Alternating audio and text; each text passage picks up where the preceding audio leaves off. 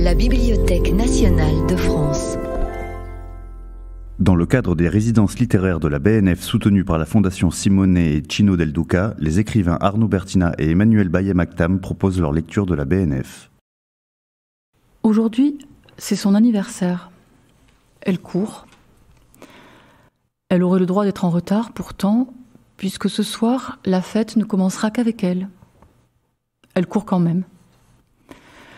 Sur sa poitrine, à la naissance du cou plutôt, battent les neuf lettres d'or de son prénom, un médaillon que ses parents viennent de lui offrir. Alexandra. Elle aurait préféré s'appeler Sophia ou Tiffany, mais on ne choisit pas son prénom. Et de toute façon, aujourd'hui, peu importe qu'elle s'appelle Alexandra, Lorraine ou Scheherazade, aujourd'hui, elle est celle que l'on attend, celle qui dispensera les faveurs à certains et en rejettera d'autres dans l'ombre. Son sac, lui aussi, brinque-balle sur ses épaules. Dedans, elle a tout ce qu'il faut pour tenir la soirée, voire la nuit entière. C'est l'inconvénient de la BNF, son éloignement de tout. La première supérette est à 20 minutes. Il faut arriver sur l'esplanade en ayant de quoi boire, manger, fumer. Même les protections hygiéniques, faut prévoir. Encore que ce soit toute une histoire d'en changer entre deux buissons qui ne cachent rien du tout, avec les copines qui font le guet et à qui on rendra l'appareil à l'occasion. Quand on est à sec, on doit aller mendier de groupe en groupe, une clope, de l'eau, du rosé, un tampon. On en profite pour faire connaissance, et parfois les groupes se mêlent, fusionnent, le temps d'une soirée. Elle grimpe, quatre à quatre, les escaliers du quai François Mauriac. Là, elle prend en plein cœur le déploiement des nappes et l'amoncellement des victuailles. Les tupperwares de semoule, les pilons de poulet, la chorba qui fume, la spirale orangée des zlabia. Elle a cru un instant que c'était pour elle, mais non, c'est juste l'heure du tour, le soleil qui se couche, le jeûne qui prend fin, les couverts qui s'entrechoquent, les mains qui se croisent au-dessus de la théière. On la hèle, de loin, à l'endroit habituel, leur endroit en fait. Et hop, voilà, elle est parmi les siens. William, Lucas, Inès, Lia, Nils, Bintou, Victoire, Jeanne, Hayden, Soraya. Très vite, ça tourne, le 1er juin, le premier verre de Sky, la première bouteille de Valstar. Tout prendre, tout boire, tout gober. On mangera plus tard si on a faim. Pour l'heure, on se contente de voir les autres le faire, sans compter que les odeurs arrivent par bouffées tièdes, viande grillée, menthe, coriandre, fleurs d'oranger. Elles se superposent à celles qui montent du jardin, en notes de mousse, d'écorce et de fougères, comme un vertige végétal et tentateur. Il fait chaud, malgré la nuit tombée. Une chaleur qui vient d'en bas, comme si les lattes de bois gris avaient emmagasiné celle du jour. Un bois exotique, paraît-il, brésilien même. Qu'est-ce qu'on lui en a dit encore? Ah oui, la plus vaste terrasse en bois de France. Et entre les lattes, des espaces trop grands, les clés, les portables y tombent. Il faut attendre le matin, un ouvrier pour dévisser les lames et restituer l'objet perdu. Mais cette fois-ci, elle est bien décidée à ne rien perdre et à ne rien oublier du bonheur d'être là. Cette fête, elle va s'en faire un souvenir mémorable, le songe d'une nuit d'été dont la jeunesse et l'ardeur lui reviendront quand la vie se fera moins jeune et moins ardente. Alexandra, regarde, c'est pour toi. C'est William. Il s'est hissé d'un bond sur le garde-corps qui le séparait de la fosse ouverte du jardin. Il y marche, dansant presque, sûr de lui, sûr d'avoir le cœur assez accroché, sûr de la fermeté de son pas, sûr de la rectitude de sa trajectoire sur ses barres d'acier horizontales, sûr de l'immortalité de ses 18 ans. Alexandra hurle, c'est ce qu'on attend d'elle, avec le cri aigu des filles chatouillées. Elle enfouit son visage dans le giron de Victoire, qui hurle aussi. William, arrête, descends. Un salto le rétablit sur les lattes d'Ipé, et Alexandra applaudit la prouesse comme il se doit. À sa gauche, Soraya s'efforce maladroitement de déboucher le champagne, plus pour la forme que pour le goût. Le champagne, ils n'en boivent jamais, mais 18 ans, ça se fait avec une boisson d'adulte et des gestes d'adulte. Niels prend les choses en main. Il fait jouer le bouchon jusqu'à ce qu'il cède, jaillisse et décrive une parfaite parabole jusqu'au fêtard d'à côté, qui le réceptionne avec les des cris d'enthousiasme. Quelqu'un a apporté une enceinte, dont jaillit soudain l'intro d'Happy Birthday, reconnaissable dès ses premiers accords, joyeusement plaqué au synthé, avant même que ne retentisse la voix de Stevie. You know, it doesn't make much sense. There ought to be a law against anyone who takes offense at a day in your celebration. Tout le monde chante le refrain, sans comprendre les couplets, attrapant simplement quelques mots, ça et là, celebration, how much we love you. Alexandra n'a jamais su que cette chanson avait été écrite en l'honneur de Martin Luther King. Elle sait juste que ce soir, cette chanson lui est destinée, comme les acrobaties risquées de William, comme les pitreries de Soraya, comme le gâteau qui sort de nulle part, tout harnaché de pâtes d'amande et de perles argentées. Un rêve de gâteau, hérissé de ces 18 bougies qu'il va falloir souffler. Un vœu, un vœu. Les groupes d'à côté, qui ont fait chorus sur la chanson, scandent aussi maintenant les deux syllabes rituelles. C'est toute l'esplanade qui s'y met. Lève des verres, brandit des briquets, tandis qu'Alexandra cherche le souffle que l'émotion lui a coupé. Un vœu.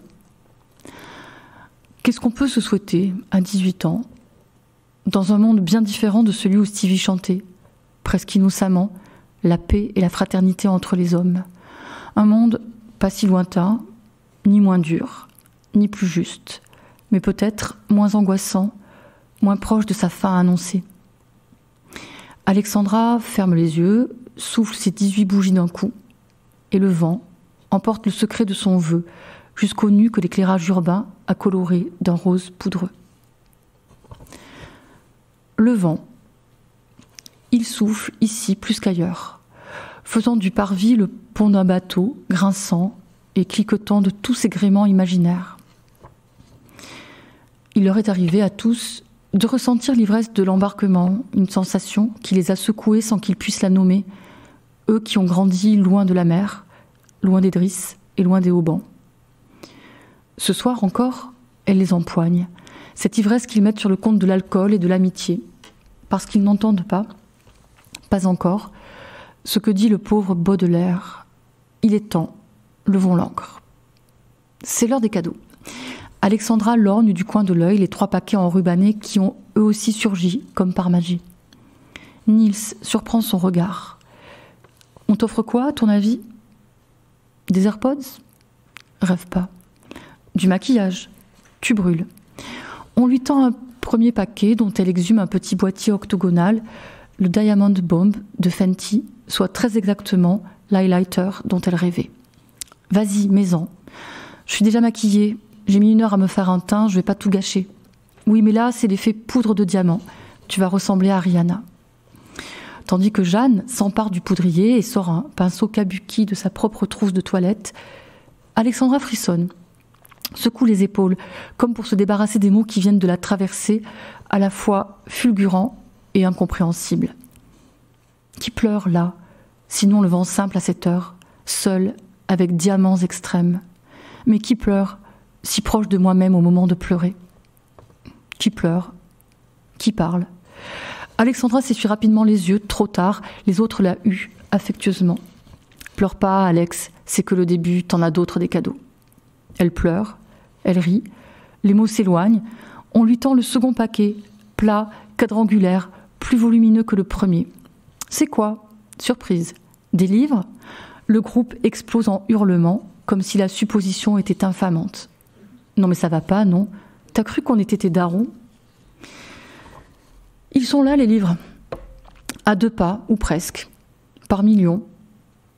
Mais Alexandra a beau passer toutes ses soirées sur l'esplanade, elle n'y pense jamais, ne s'est jamais vue en usagère de la bibliothèque, ne s'est jamais dit que ces livres étaient pour elle.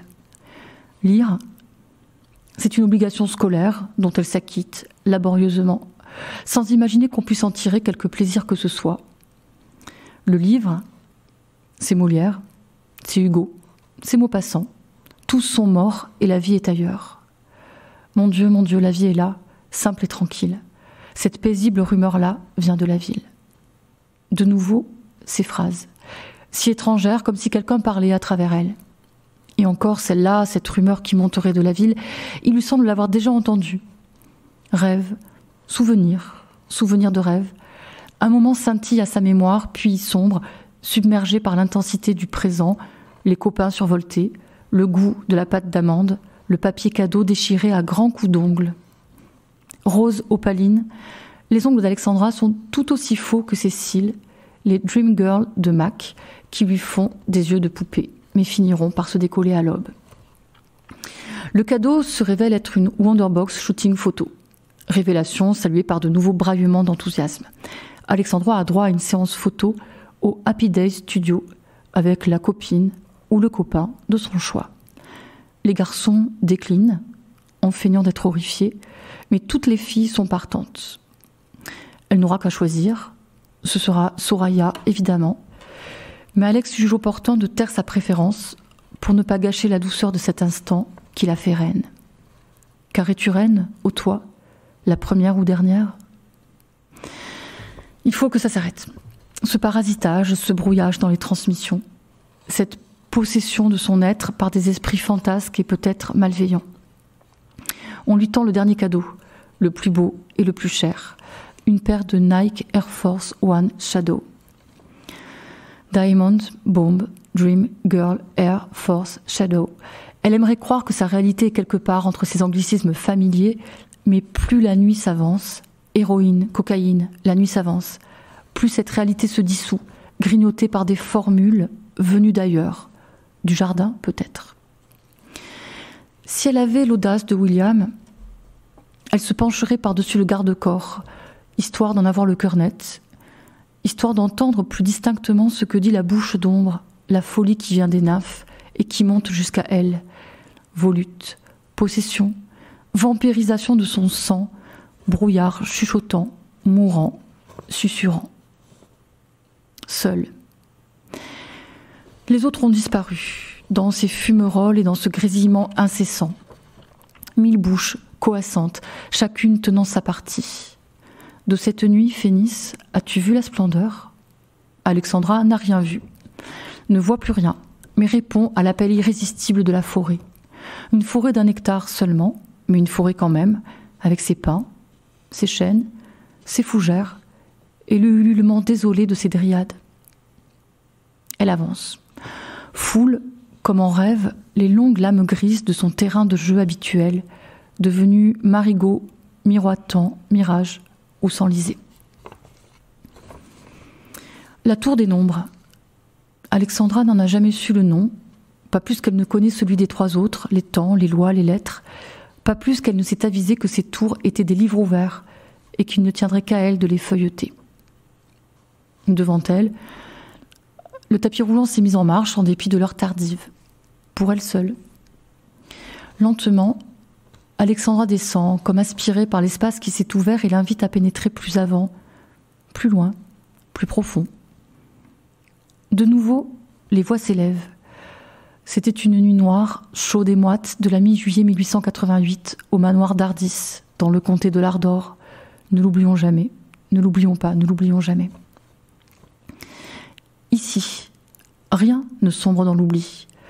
Comme une sonde spatiale, la bibliothèque a embarqué son disque d'or, gravée de mille voix humaines, celle-là même qui guide Alexandra aux confins de son propre système scolaire, solaire, qui pleure, qui parle. Elle se déchausse, laisse derrière elle les Nike Air Force One Shadow tout neuf. Sous ses pieds nus, la moquette est d'un rouge organique, un rouge qui la ramène à son tumulte intime.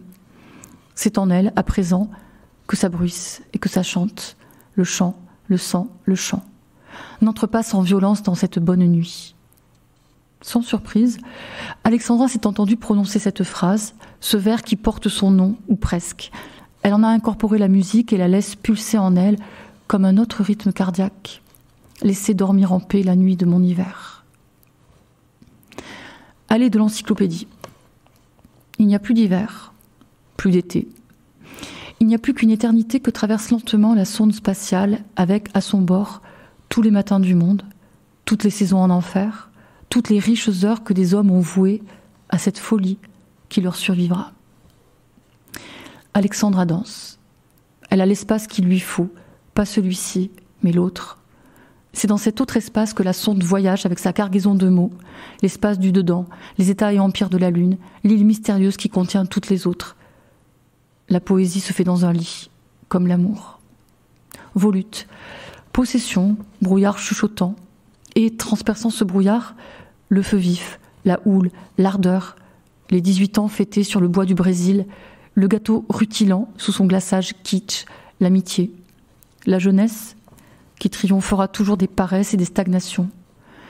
D'autres alexandrins lui montent aux lèvres sans qu'elle les réfrène.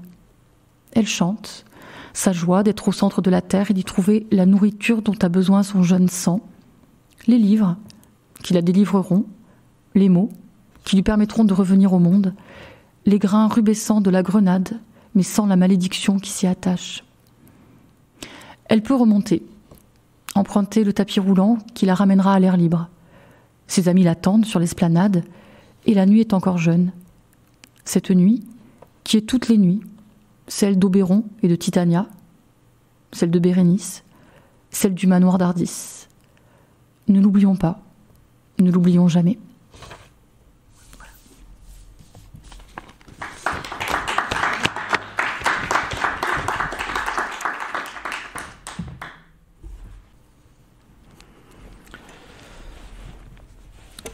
11 octobre 2020, j'arrive à la BNF. La nudité de l'esplanade est toujours une expérience.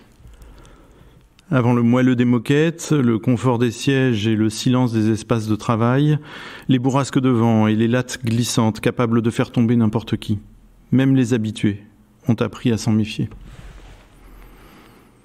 Ce jour-là, un bouquet de fleurs est attaché à la rambarde. Je le raccroche mentalement à deux articles lus il désigne certainement l'endroit depuis lequel un employé du site a sauté quelques jours plus tôt. Je ne saute pas après lui, mais le suicide d'une personne ouvre toujours un gouffre. Je ne peux m'empêcher d'être happé. D'autant plus que je me trouve là pour écrire sur un employé ou un usager du site François Mitterrand. J'aimerais penser à lui différemment, mais hypnotisé par ce bouquet de fleurs abîmé par le vent et par la pluie, je ne me défais pas de cette idée si je l'avais rencontré dans le cadre de cette commande, peut-être aurais-je fait son portrait, ce qui l'aurait aidé à fixer son désarroi, qui sait. À mettre un peu de distance entre lui et ça. Jeter sur le papier, jeter à terre ce qui pèse, ce qui étrangle. Ce désarroi lui serait devenu un peu étranger, suffisamment pour lui permettre peut-être de respirer à nouveau.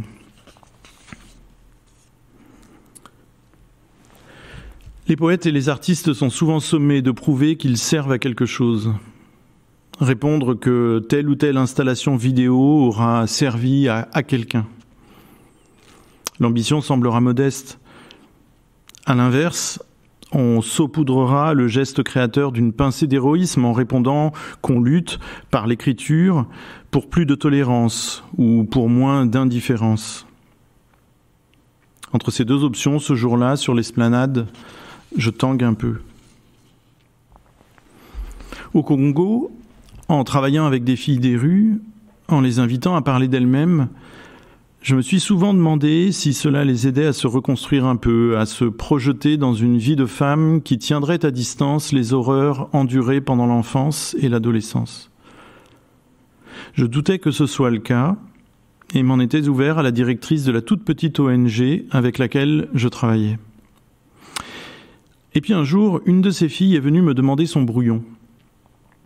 Elle voulait retravailler son texte. Elle est restée une heure à mettre au propre ce qu'elle avait écrit. Une heure, c'est long quand on est sorti du système scolaire au moment où d'autres découvrent le collège. Quand elle s'est arrêtée d'écrire, la directrice m'a dit que cette jeune fille ne se serait pas isolée une heure durant pour écrire si ça ne lui faisait pas du bien.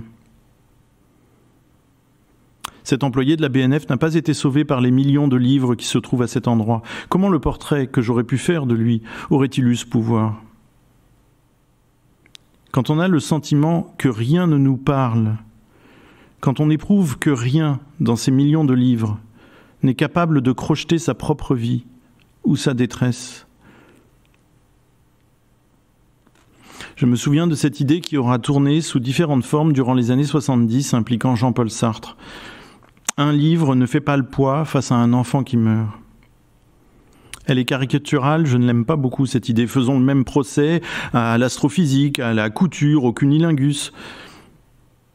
Mais comment écrire sans espérer sauver quelqu'un du désespoir? Sans espérer que l'œuvre donnera le goût de quelque chose à celui ou celle qui n'a plus goût à rien même le goût d'un immense incendie, comme sans doute Céline lorsqu'il écrivait les aventures de Bardamu.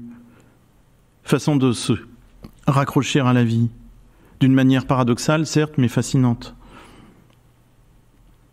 Je pensais à cela alors qu'un escalator me menait de la base de la tour des temps aux fondations, ou presque, de la tour des lettres. Je me demandais si, devant l'alternative, avoir des lecteurs ou sauver quelqu'un de précis, je choisirais de sauver quelqu'un. Est-ce qu'on peut se satisfaire d'une vie sauvée quand on cherche les vivas, les couronnes de laurier, une longue file de lecteurs attendant une dédicace au monoprix du bled où on a grandi? Après avoir été contraint de repasser quatre fois sous les fourches codines du portique de sécurité, épuisant les quatre hommes en blazer sombre au point qu'ils renoncent à trouver ce qui me faisait sonner, je me demandais, moi, si le dit portique servant à détecter les métaux ne leur signalait pas une idée mal posée qui aurait le poids du plomb. J'ai traversé le hall des globes pour prendre l'allée de l'encyclopédie et la galerie qui devait me mener à l'endroit où j'aime travailler, de loin en loin. Mais en négociant mal ce virage à angle droit, je suis presque entré dans un homme un peu voûté ou marchand de traviole, les cheveux blancs, qui m'a esquivé comme font les personnes un peu dérangées. Cela n'a duré qu'une seconde ou deux, je me suis excusé, mais il me tournait déjà le dos, il s'éloignait. J'ai trouvé une place, suis allé commander le livre dont j'avais besoin, et en retournant m'asseoir, j'ai compris que l'homme dérangé venait de remplacer, dans ma tête, l'employé qui s'était jeté dans le vide quelques jours plus tôt. Ah, j'ai l'impression de connaître ce visage, ou alors euh, cette allure. Ne parvenant à rien, je suis allé faire les 100 pas. Pendant ce temps, un magasinier posait discrètement devant ma chaise le récit de Jacques Roubaud, demandé quelques minutes auparavant, sur lequel je me proposais d'écrire, sans l'avoir lu pourtant.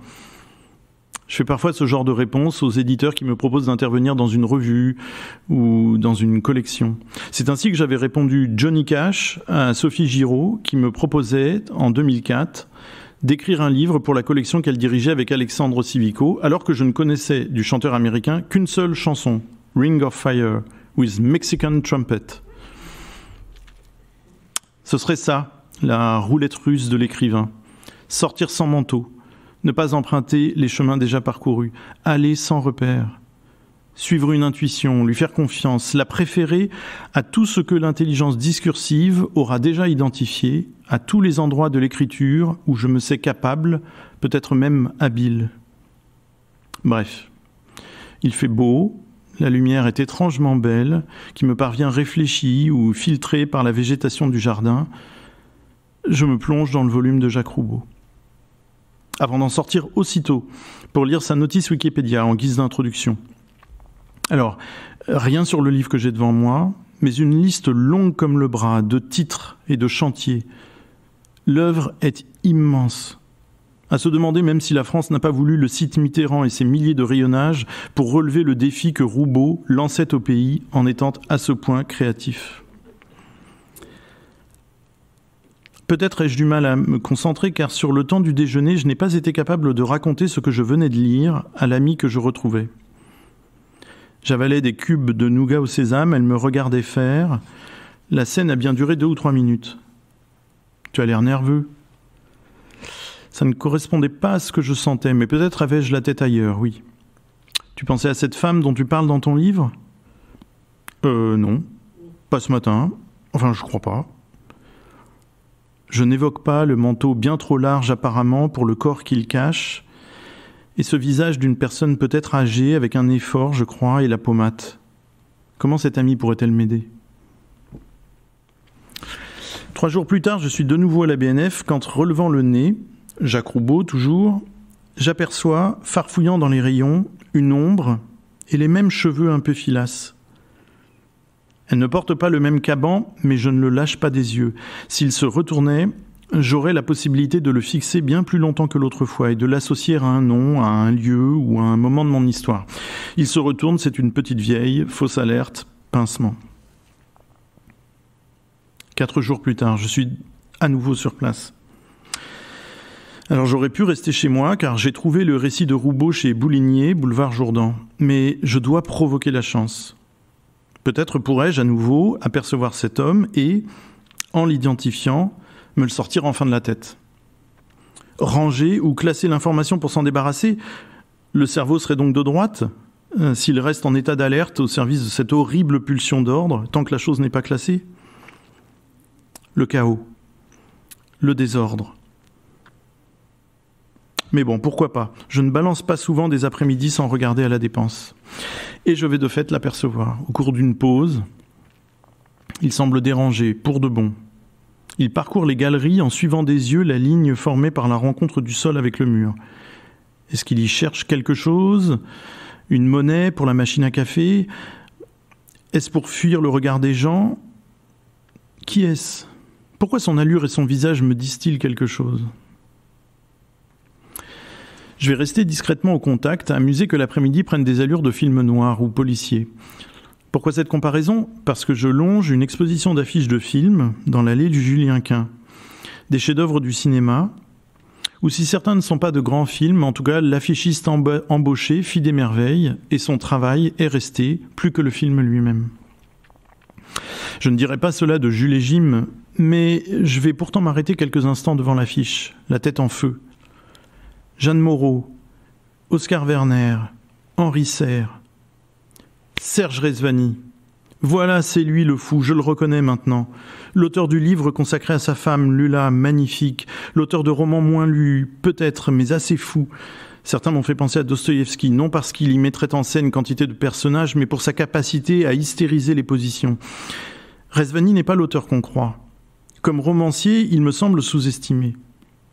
Prenant à Faulkner comme à Dostoïevski, ses livres ne seraient pas organisés comme un jardin à la française et on lui ferait payer ce mauvais goût?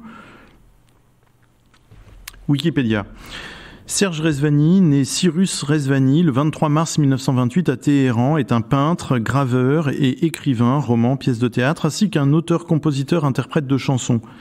Il se qualifie de pluri-indisciplinaire.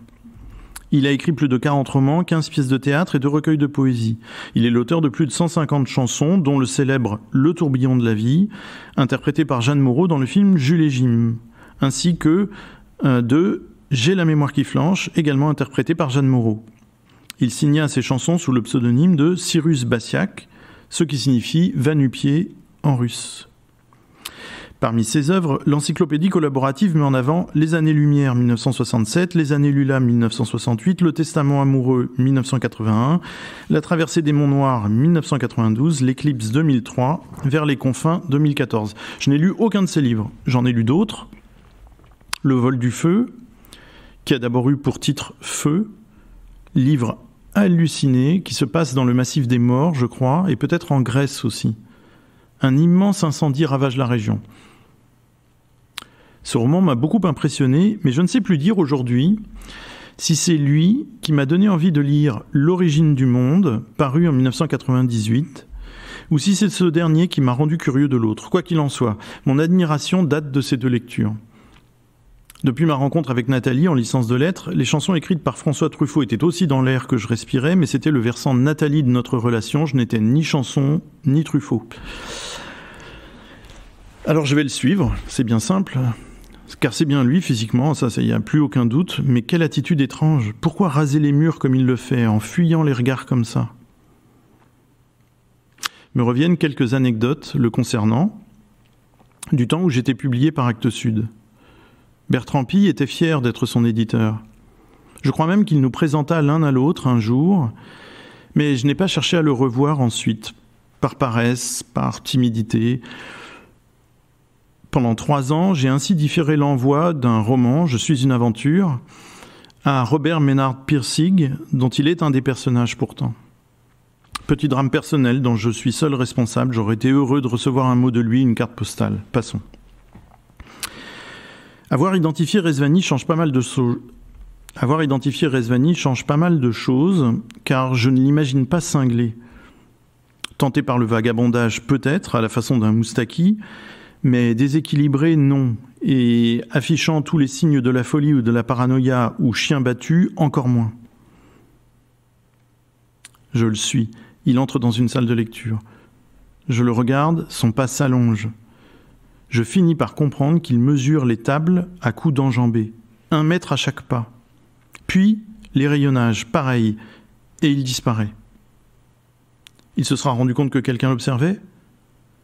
Je regarde les usagers qui sont autour de moi, mais personne ne semble autrement ému par son comportement étrange. Il faut dire qu'à fréquenter Beaubourg, Sainte-Geneviève ou la BNF, les chercheurs et les étudiants deviennent assez vite insensibles aux lubies et aux grimaces des quelques personnes perchées qui fréquentent ces bibliothèques. Mais tout de même, tout de même, pourquoi mesurer comme cela les salles et les couloirs? À quel toc cela correspond-il? Je sors, peut-être est-il sur le parvis, mais non, il m'a échappé, pour de bon, je redescends et demande certains de ses livres, car je sais que je n'arriverai pas à penser à autre chose. Mais je ne tiens pas en place et ressors presque aussitôt. Une expo dans la galerie des donateurs consacrée aux legs consentis par Pascal Quignard à la BNF, soit ses lettres, quelques dessins et un manuscrit seulement, car l'auteur de Vie secrète a tout brûlé au fil du temps. Dans une vidéo, on le voit effectivement mettre au feu le manuscrit d'un volume apparaître. L'explication donnée par l'écrivain mêle vœu de pauvreté au désir d'être sans attache, toujours prêt à partir. Brûle ce que tu aimes. Une demi-heure plus tard, je suis de nouveau à ma place et devant l'origine du monde. Mais inutile de rouvrir ce roman, je m'en rends compte, je me souviens très très bien de l'intrigue. Le nain Bergame, quel personnage, vit sous les toits du grand musée, ou quelque chose comme ça, un décalque du Louvre. Et la nuit, il se promène dans les galeries désertes, dont il ramène tel ou tel chef-d'œuvre dans Saturne. Non pour le cacher, mais pour le prolonger, dit-il. Bergame prolonge un tableau en ajoutant un détail. Un arbre ou un buisson à un coraux, par exemple. Ce faisant, il remet le tableau en circulation. Il le rend à cette vie que le musée avait gelée. C'est évidemment un massacre car Bergame ne sait pas peindre, mais c'est un sauvetage aussi, car il choisit l'art contre le musée qui muselle. Le roman était épais, le geste est souvent expliqué, théorisé. Je le trouve fascinant. Ensuite, à la fin, le musée brûle, un gigantesque incendie. Je ne sais plus dire comment on en vient à ça, sans doute est-ce Bergame lui-même qui allume ce feu, mais j'ai beau fouiller mes souvenirs, cela ne me revient pas. Pour échapper à la police en quêtant sur ces actes de vandalisme Peut-être. Et là, bim, un éclair ou la foudre. Resvani a-t-il l'intention de mettre le feu à la BNF Mesure-t-il les salles et le mobilier pour évaluer ce qu'il lui faudrait de matière inflammable? Il aurait transposé sa critique du musée aux bibliothèques. Les livres ainsi rangés, classés, seraient comme anesthésiés, ou c'est notre lecture qui le serait, tout entière vampirisée par l'idée de patrimoine, de culture avec un grand C, cette religion laïque, à peu de choses près. La critique se tient. J'en aime ou co-signe tout un aspect. Comment faire pour que les grands chefs-d'œuvre de la littérature restent ces bêtes indomptables qu'elles étaient avant de devenir, pour ceux qui ne les lisent pas, ces classiques que l'on déforme en les enseignant, en les appauvrissant, en gommant les passages les plus fous, les plus remuants, en réduisant leur complexité à ce que nous sommes capables d'entendre. Certes, le site François Mitterrand et la BNF est très monumental, fait pour impressionner, plutôt peut-être que pour accueillir ou décomplexer. Mais de là à y foutre le feu quand même, il y aurait dans ce geste quelque chose de dada. Un écrivain met le feu à une bibliothèque le spectacle de la table rase serait extraordinaire.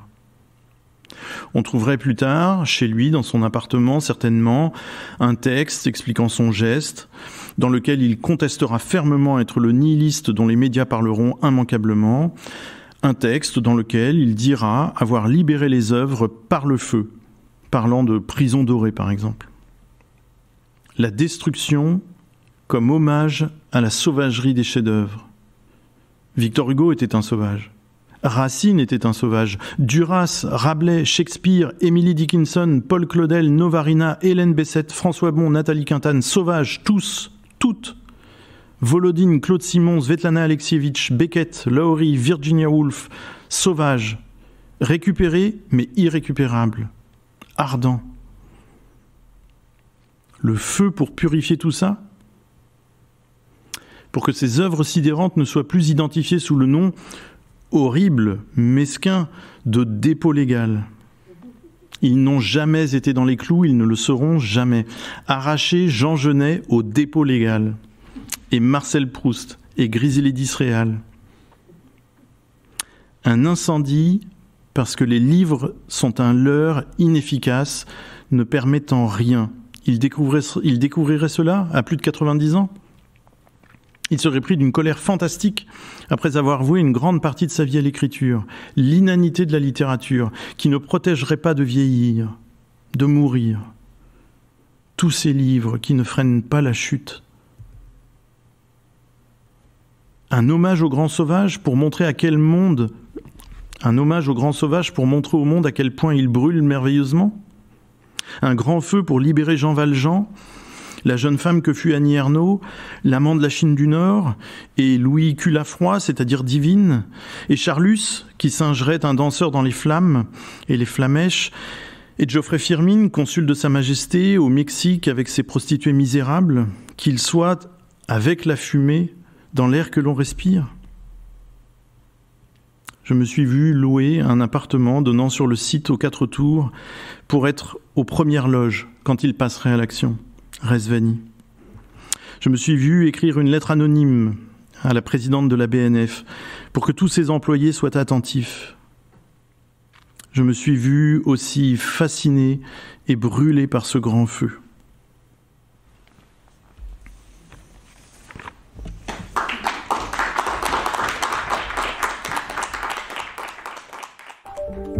Vous venez d'écouter un podcast de la Bibliothèque nationale de France.